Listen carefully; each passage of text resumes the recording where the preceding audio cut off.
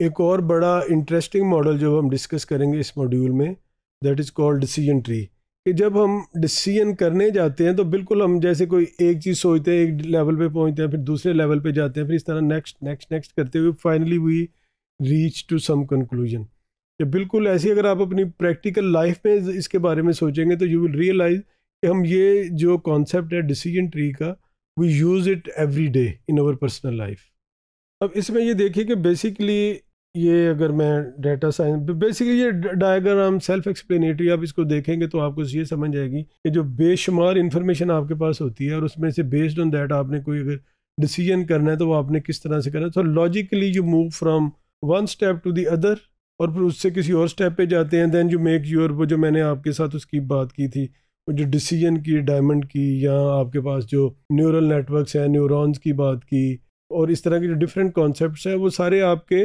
इसमें भी यूज़ होंगे डिसीज़न ट्री में। इसमें क्या कि मॉडल को हम पहले ट्रेन करते हैं डेफिनेटली उसको टेस्ट करते हैं। जो सेट ऑफ़ डाटा है, उसको हम जो उसकी डिज़ायर्ड कैटेगरीज हैं, या क्लस्टर्स हैं, या जो उसकी क्लासिफिकेशन हैं, उसके अंदर हम उसको डिस्ट्रीब्यूट करते हैं। ये, और फिर बेस्ड ऑन दैट फिर हम उसके ऊपर अपना जो है, वो जो लॉजिक अप्लाई करते हैं डिसीज़न ट्री का, कि किस तरह से। और इसका भी जो मॉडल है, वो अवेलेबल है पाइथन की लाइब्रेरीज के अंदर, और आपने ये आप अपना भी डेवलप कर सकते हैं। फ़र्ज़ करें कि अगर आप कहीं कोई डिसीज़न करना है, आप कहते हैं, जी, मैंने ये वीकेंड कैसे गुजारना है? राइट तो आप क्या करेंगे? आप सबसे पहले सोचेंगे कि आपके पास क्या क्या ऑप्शन है? या वीकेंड किस दिन है? या कोई पब्लिक हॉलीडे आ गया है? फ़र्ज़ करें, अभी ये after couple of weeks you are going to have a public holiday तो सबसे पहले आप क्या सोचेंगे? आप देखेंगे, यार, ये किस दिन आ रहा है पब्लिक हॉलीडे राइट क्योंकि it is not a normal weekend अब अगर वो ड्यूरिंग द वीक है तो फिर आपने क्या करना है? आपके पे के पास क्या क्या ऑप्शन है?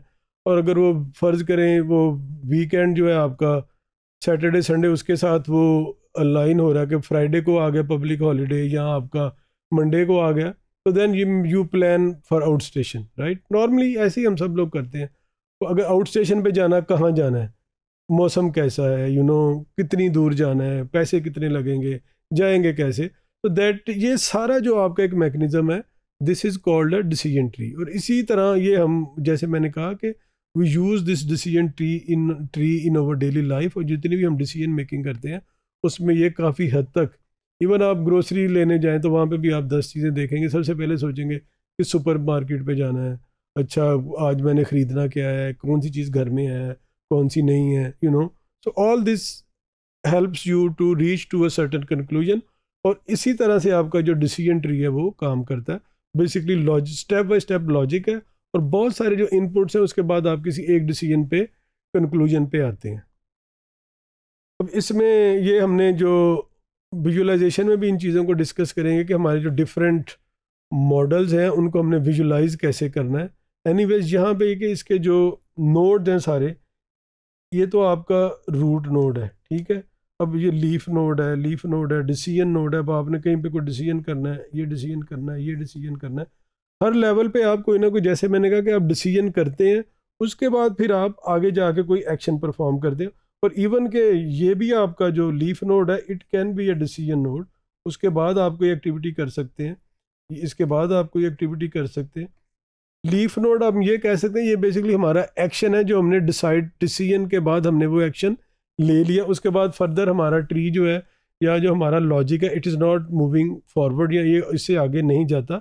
हमारा लॉजिक या जो हमारा सॉफ्टवेयर का कोड है इट स्टॉप अस हेयर लेकिन डिपेंडिंग ऑन द सिचुएशन इसमें, इसीलिए इसका नाम डिसीज़न ट्री है कि जो लीव लीव्स है कि आपका वो stem of your tree branches हैं, फिर लीव्स हैं। So leave is the last thing लेकिन just to develop your understanding वो जो लीव्स हैं, जहाँ पे जो कि कॉन्सेप्चुअल चीज़ है, उसके आगे भी आपका कोई लॉजिक डेवलप हो सकता है कि वो किस तरह का आपका लॉजिक है। तो ये तो वही स्टेप्स हैं जो हमने डिफरेंट उसमें यूज़ करते हैं, वही हमारे ऑलमोस्ट हर जगह आपके जो स्टेप है, वो ऐसे ही होंगे कि आपने मॉडल सेलेक्ट करना है, फिर आपने उसको ट्रेन करना है टेस्ट करना है डाटा के ऊपर, फिर उसके बेस पे आपने अपने जो इन्फर्ट बेसिकली ये जो स्टैटिस्टिकल इन्फ्रेंस है, ये उसी कॉन्सेप्ट को यहाँ पे इन्फर्ड के तौर पे यूज़ किया गया है कि आपकी जो इन्फ्रेंस है, या एस्टिमेशन है बेस्ड ऑन डाटा कि आपने जो प्रोडिक्शन की है फोरकास्टिंग की है वो क्या चीज़ है, वो क्या होगी? बेसिकली कि आपने फ़र्ज़ करें वो जो अपना ग्रोसरी का जो विज़िट था या आपका जो ट्रैवल का प्लान था, उसका जो एंड रिज़ल्ट है वो आपका क्या आया? आपने क्या डिसाइड किया? तो that is how it works अब ये एक और एग्जांपल है इसमें and this is a practical example अब वी यू नो दुनिया में बहुत सारी स्पोर्ट्स हैं, लेकिन अगर मैं सिर्फ़ एक क्रिकेट की एग्जांपल ले लूँ या कोई ऐसा खेल जो कि आउटडोर स्पोर्ट्स हैं फुटबॉल मैचेस हैं गोल्फ के मैचेस हैं, वहाँ पे weather plays you know a major role अब अगर मैंने ये देखना है कि अगले हफ़्ते मैंने मैच खेलना है या नहीं खेलना या मैंने कोई दोस्तों के साथ फ़र्ज़ करें गोल्फ का जो अपना राउंड है वो प्लान करना है या नहीं करना तो what I will do I will see कि यार वेदर कैसा है। सबसे पहला तो यही होगा ना कि वेदर कैसा है, क्योंकि मैंने जाके खेलना है।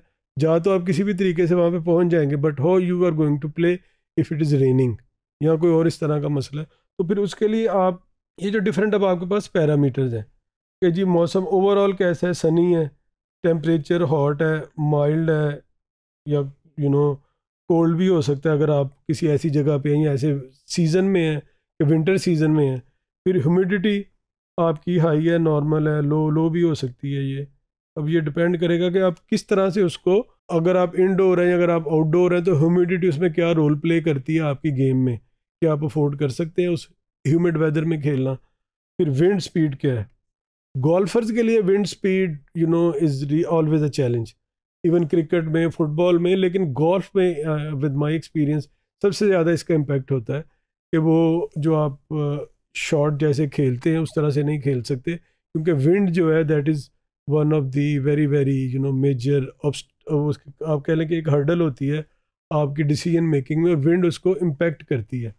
फिर उसकी बेस पे आप ये डिसाइड करते हैं कि मैंने, मेरा डिसीज़न जो खेलने का वो येस है या नो है राइट तो बेसिक ये एक पूरा आपका एक डिसीज़न ट्री होता है कि अब आप देखिए, अब आपके पास ये पूरी एक मैट्रिक्स बन गई है। ये अगर मैं देखूँ कि ये मेरे पास आठ या दस दिन का वेदर का डाटा है और उसकी बेस पे मैं उसको नेक्स्ट जो है अपना प्लान कर सकता हूँ। इसको मैं डेज़ को वीक डेज़ के साथ भी कर सकता हूँ। मैं इसको जो कैलेंडर के डेज़ हैं उसके साथ भी कर सकता हूँ you know anything can be done ये आपकी प्लानिंग पे डिपेंड करता है। या आपके पास जो डाटा अवेलेबल है वो किस तरह का, फिर आप इसको फर्दर सेग्रीगेट कर सकते हैं। आपके पास भी ऑल आजकल तो हर बंदे के पास वेदर का डाटा अवेलेबल है, हमारे मोबाइल फ़ोन में, हमारे पास ओवरली डाटा होता है। अगले दस दिन की प्रडिक्शन है, अगले बीस दिन की फोरकास्ट है। और वो फोरकास्टिंग कैसे करते हैं? फ़र्ज़ करें गूगल वेदर है या और कोई भी वेदर की अगर आप एप्लीकेशन यूज़ करें that is what they are doing they are using machine learning techniques they are using the past data for many many years और उसकी बेस पे फिर वो मॉडल डिफरेंट यूज़ करते हैं एंड देन वो फिर अपनी प्रडिक्शन करते हैं। और आजकल आप नोट करेंगे कि इनकी जो वेदर की प्रडिक्शन है they are coming very close to the accurate right तो बेसिकली उसके पीछे यही है कि जो machine learning models statistician use करते हैं या ये जो आपके जो जोग्राफ़ी के लोग होते हैं, जो वेदर पे काम करते हैं वेदर सिस्टम्स पे काम करते हैं, जो मॉडल वो यूज़ करते हैं तो वो बेसिकली उनकी वजह से अब अब ये जो चीज़ें काफ़ी हद तक ये एक्यूरेट हो गई हैं।